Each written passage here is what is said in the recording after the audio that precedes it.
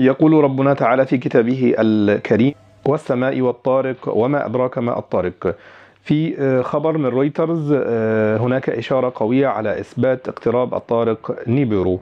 السلام عليكم ورحمة الله وبركاته. في البداية بنرحب بكم وبنذكركم بالصلاة والسلام على سيدنا وحبيبنا النبي محمد صلى الله عليه وسلم.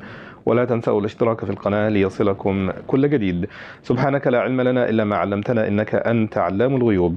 قبل أن نبدأ تناول التقرير تقرير رويترز ما قاله المفسرون أو بعض المفسرون في تفسير سورة الطارق.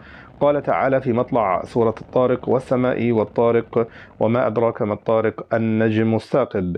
قال ابن كثير عليه رحمة الله إن الله تعالى سبحانه وتعالى يقسم في هذه الآيات بالسماء وما تحويه من نجوم مضيئة وكواكب منيرة خلقها الله سبحانه وتعالى. فسر الطارق في الآية السابقة بالاستناد على أقوال أهل العلم بأنه طارق يعني يأتي بالليل. وقال بعضهم الثاقب المضيء وقال آخرون هو النجم الذي يثقب الشياطين ويحرقها. والآن نتناول ما جاء في تقرير رويترز. لاحظ العلماء كوكبا ضخما يبلغ حوالي تسعة أضعاف كتلة كوكب المشتري في مرحلة مبكرة بشكل ملحوظ في التكوين. ووصف بأنه لا يزال في الرحم في اكتشاف يتحدى الفهم يتحدى الفهم الحالي لمهمة الكوكب الأحمر. استخدم الباحثون تلسكوبا سوبارو وتلسكوب هابل الفضائي في المدار لاكتشاف ودراسة الكوكب وهو عملاق. يدور بشكل غير عادي. والآن جاء في تقرير رويترز حيث لاحظ العلماء كوكبا ضخما يبلغ حوالي تسعة أضعاف كتلة كوكب المشتري في مرحلة مبكرة بشكل ملحوظ من التكوين. وصف بأنه لا يزال في الرحم في اكتشاف يتحدى الفهم الحالي لمهمة الكوكب الأحمر.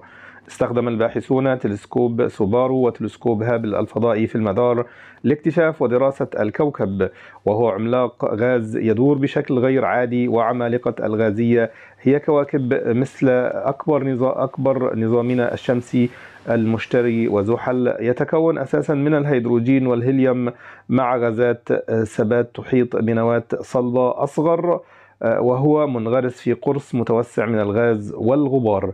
يحتوي على المادة التي تشكل الكواكب. يحيط بنجم يدعى AB كما ذكروا.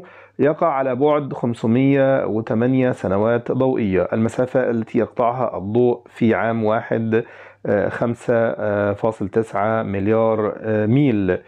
من الأرض اكتسب هذا الكوكب شهرة عابرة عندما ظهرت صورته على شكل مذنب بيصطدم بالأرض في مشهد من فيلم لا تنظر إلى الأعلى Don't Look Up عام 2021 حيث ينطلق عالمان فلك في جولة إعلامية لتحذير البشرية من مذنب يتجه بسرعة نحو الأرض اكتشفوه سيدمر الكوكب لكن لا أحد يولي الاهتمام في هذا العالم المشتت من حروب واقتصاد ومجاعة وكوارث طبيعية لا أحد يولي اهتمام لا أحد يولي الاهتمام.